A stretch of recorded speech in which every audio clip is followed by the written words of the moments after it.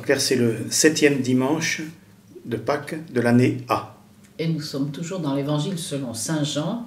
Cette fois-ci, c'est le début du chapitre 17, versets 1 à 11. Alors, je vais commenter quelques mots qui reviennent dans ce passage et en général dans Saint Jean, parce que c'est tellement riche qu'évidemment, on ne peut pas commenter le mot à mot de chaque évangile. Euh, au verset 1, il est écrit que Jésus lève les yeux au ciel et dit Père, l'heure est venue, glorifie ton Fils afin que le Fils te glorifie. Alors, euh, dans ce passage, il est énormément question de gloire et de glorifier dans cet évangile. On l'a ici au premier verset, deux fois. Au verset 4, Je t'ai glorifié sur la terre, ça c'est la voix du Père. Au verset 5, Jésus dit Père, glorifie-moi auprès de toi de la gloire que j'avais auprès de toi. Et encore au verset 10, tout ce qui est à moi est à toi, et tout ce qui est à toi est à moi, et je suis glorifié en eux. donc ça fait beaucoup de gloire et beaucoup de glorification dans cet évangile de dimanche prochain. Alors nous savons euh, déjà que la gloire, ça veut dire le poids de la présence de Dieu, une présence de Dieu qui est manifestée. Euh, dans la Bible, la gloire de Dieu est manifestée d'une manière tout à fait exceptionnelle lors de la traversée de la mer Rouge.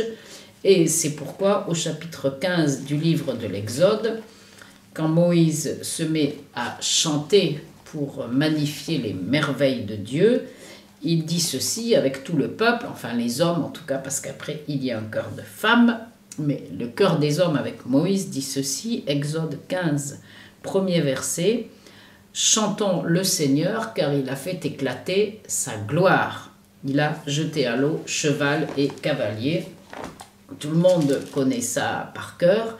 Et le cœur de femme, avec Myriam la prophétesse, qui elle, elle danse et le nom des tambourins, euh, le cœur de femme redit la même chose. Exode 15, verset 21. Chantez pour le Seigneur, car il s'est couvert de gloire, car il a fait éclater sa gloire, il a jeté à l'eau cheval et cavalier. Alors, on voit ici, on comprend bien qu'est-ce que c'est que la gloire de Dieu, c'est la manifestation visible de sa victoire sur toutes les forces du mal. La gloire de Dieu, c'est son poids de divinité qui l'emporte sur, on va dire, tout ce qui est du côté du mal et qui est du côté du néant. Et Dieu est du côté de ce qui pèse, de ce qui a de l'importance, de ce qui dure, de ce qui reste. Euh, Pharaon, cheval et cavalier, hein, tout ça qui est noyé dans la mer Rouge, ça représente les forces du mal qui sont vaincues. D'où l'expression, enfin le chant de triomphe de Moïse et de sa sœur Myriam. Le Seigneur a fait éclater sa gloire. Et puis un petit peu plus tard, Moïse va demander au Seigneur de nouveau de voir sa gloire. Il est un peu découragé, il est dans le désert avec un peuple à la nuque raide, et tout d'un coup il se dit que ça lui ferait du bien de nouveau de contempler la gloire de Dieu. C'est au chapitre 33 du livre de l'Exode, au verset 18. Moïse dit à Dieu, Fais-moi de grâce voir ta gloire. Dieu lui dit, Je ferai passer devant toi toute ma beauté, je prononcerai devant toi le nom du Seigneur, je fais grâce à qui je fais grâce et j'ai fait miséricorde à qui je fais miséricorde. Mais ma gloire, il n'est pas question que tu la vois. Alors, euh, donc euh, là, Moïse ne contemple pas la gloire de Dieu, mais il a quand même un peu une définition de qui est le Dieu de gloire. Il est question de la beauté de Dieu, qu'on pourrait traduire aussi par sa bonté. Je ferai passer devant toi toute ma beauté et ma bonté. Tu vas comprendre à quel point je suis bon et à quel point la beauté euh, fait partie de, de moi-même. La beauté est toujours du côté de Dieu, premièrement. Deuxièmement, je prononcerai devant toi le nom du Seigneur. Le nom du Seigneur lié à sa gloire. Et puis troisièmement, sa grâce et sa miséricorde. Alors, euh, quand Jésus, dans ce chapitre 17 de Saint Jean, parle de gloire et de faire connaître le nom, ça renvoie quand même à ce passage du livre de l'Exode où euh, Moïse, comme réponse, il veut voir la gloire de Dieu et Dieu dit, je vais prononcer devant toi mon nom. Et puis, je suis beauté, je suis bonté, je suis grâce et je suis miséricorde. Et c'est tout ça que Jésus est venu manifester. Jésus qui vient faire connaître la, gloire du Père, c'est qu'il va manifester le nom du Père, ça je vais en reparler, il va faire connaître le nom du Père, et puis il va manifester par toute sa vie que Dieu est beauté, bonté, salut, miséricorde et tendresse. Ça, c'est la gloire de Dieu. Verset 3, Telle est la vie éternelle, c'est qu'ils te connaissent, toi, le seul Dieu véritable et celui que tu as envoyé, Jésus-Christ. La connaissance de Dieu, hein, et une manière de glorifier Dieu. Hein, la connaissance de Dieu, c'est quelque chose de beau et de bon. Hein. Euh, ça nous rappelle que une fois qu'Adam et Ève ont eu péché, ce fameux arbre appelé l'arbre de la connaissance du bien et du mal était tout sauf l'arbre de la connaissance. C'était cet arbre, c'était le signe qu'on refusait de connaître Dieu de lui obéir et d'entrer dans son intimité. Donc ce fameux arbre, c'était un arbre de la non-connaissance de Dieu. Et Jésus vient pour rétablir les choses. La mort est entrée dans le monde par la non-connaissance de Dieu, par le refus de connaître Dieu et de lui obéir et de contempler sa beauté, sa miséricorde, etc. Et du coup, Jésus vient rétablir la vérité sur Dieu. Il vient en vérité faire connaître qui est Dieu.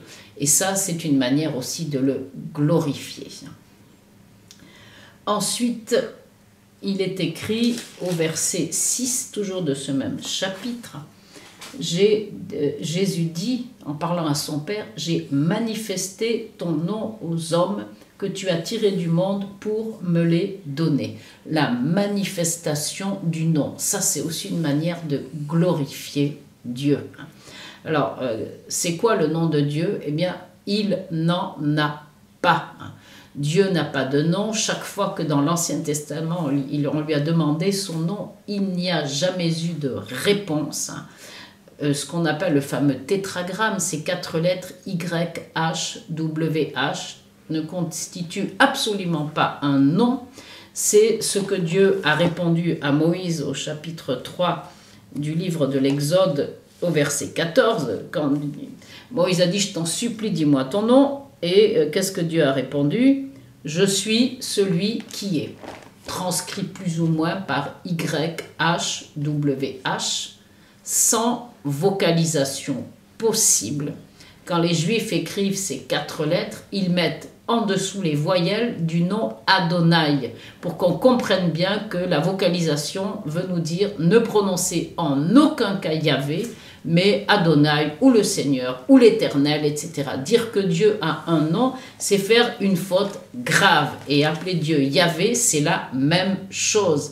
Et l'Église a pris la peine de le rappeler parce qu'on l'avait complètement oublié dans un document qui date du 24 octobre 2008 en disant un synode qu'il dit qu'il ne faut plus prononcer le nom de Dieu en disant Yahvé. Alors, il y en a, mais c'est sans doute pas de leur faute, mais vous voyez, on est en 2014 et depuis le 24 octobre 2008, c'est un rappel de l'Église parce que les siècles passés, jamais personne ne disait Yahvé. On disait toujours le Seigneur. Et puis voilà qu'on s'est mis à prononcer le nom de Dieu, ce qui est assez significatif de l'orgueil et de la présomption de notre temps aujourd'hui. On s'imagine qu'on peut nommer Dieu. Dieu n'a pas de nom. Alors, j'ai pas trop le temps d'insister là-dessus, mais euh, alors pourquoi Jésus dit j'ai manifesté ton nom? Qu'est-ce que ça veut dire manifester ton nom? Alors, si je dis que Dieu n'a pas de nom, en même temps, chaque fois que ces fameuses quatre lettres Y, H, W, H sont écrites dans la parole de Dieu, pour les Juifs, c'est toujours une allusion à Dieu de tendresse, Dieu de miséricorde, Dieu de salut, Dieu qui pardonne. Parce que quand Dieu s'est révélé à Moïse avec ces quatre lettres, il était en train de sauver son peuple en décidant de le faire sortir d'Égypte. Alors, c'est la raison pour laquelle, si vous allez par exemple voir au psaume 25 au verset 11, il est dit, À cause de ton nom Seigneur, pardonne mes torts car ils sont grands à cause de ton nom, sous-entendu, qui est un nom sauveur. Pardonne mes torts, car ils sont grands. Ou alors un très beau passage du prophète Sophonie, chapitre 3, verset 12, Je ne laisserai subsister en ton sein, Israël, qu'un peuple humble et petit, pauvre, et c'est dans le nom du Seigneur que cherchera refuge le reste d'Israël, c'est-à-dire dans sa puissance de salut et de miséricorde.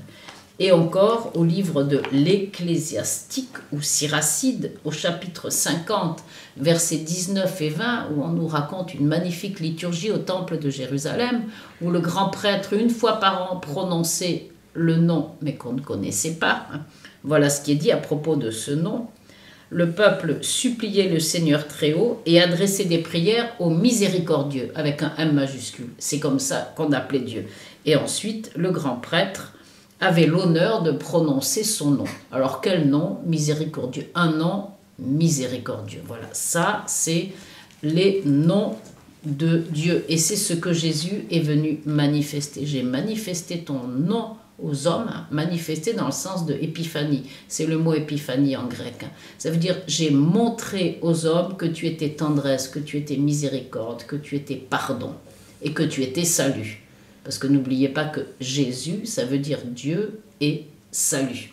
Donc voilà pour le verset 6. Hein. J'ai mal ton nom aux hommes que tu as tirés du monde pour me les donner. Alors je voudrais terminer avec euh, l'histoire du monde, parce que c'est compliqué le monde dans Saint Jean. Alors ici, je voudrais partir du verset 9. Quand Jésus dit, je prie pour eux, je ne prie pas pour le monde, mais pour tous ceux que tu m'as donnés. Alors, le monde dans Saint Jean, euh, de deux choses l'une, ou c'est l'univers entier, le monde entier, euh, pour lequel Jésus est venu, qui est appelé à être sauvé. Comme il est dit dans Saint Jean, dans chapitre 3, verset 17, Dieu n'a pas envoyé son Fils dans le monde pour juger le monde, mais pour que le monde soit sauvé par lui. Donc tantôt le monde, ça veut dire qui? Ceux que Jésus est venu sauver s'ils veulent bien être sauvés, évidemment.